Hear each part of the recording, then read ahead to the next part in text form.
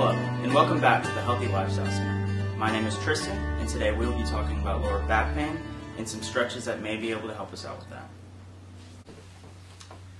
One issue that does often occur is that we forget to stretch out our mid back. And if our mid back is tight or our thoracic spine, this can cause tightness in our lower back, which equals pain in our lower back. So this first stretch will be to isolate our mid back and to stretch it out.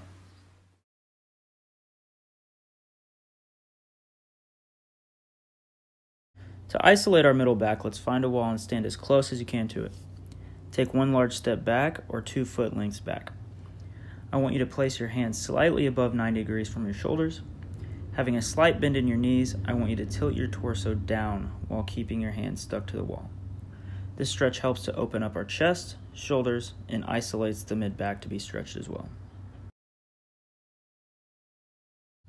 If we still feel some motion in our hips and lower back, we can further isolate our mid back to be stretched a little bit more by kneeling on the ground. You should have one shin length in between you and the wall. Doing the same thing as the previous stretch, this will help you isolate your mid back a little bit more for a better and more focused stretch.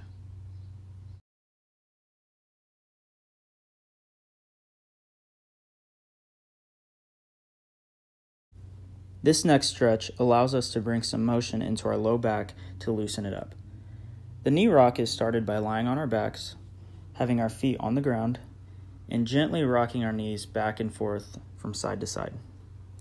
If you need to focus on an extra tight spot that you feel, hold your knees at each side for a little bit longer.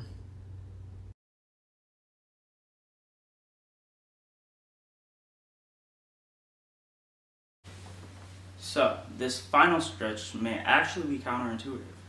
It's going to be focused on our hamstrings. So, when our hamstrings are too tight and we forget to stretch them out, can actually pull on our lower backs and create this tightness that we feel and this pain that can come with it. So let's focus on our hamstrings for this next exercise.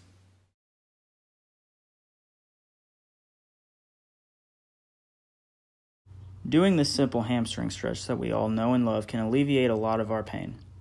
Standing with feet shoulder width apart, we can reach down with our torso while keeping a slight bend in our knees.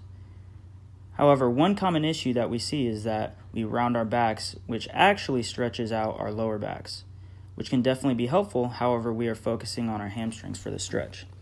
So, in addition to the previous steps, I want you to focus on keeping your back straight as you lower your torso. It helps to think about bringing your shoulders back and down and also slightly squeezing our core.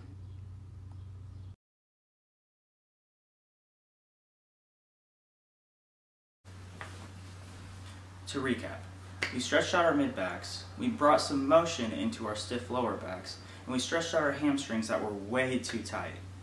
Doing these stretches 15 to 30 seconds a couple times a day can help alleviate some of this pain that we are feeling.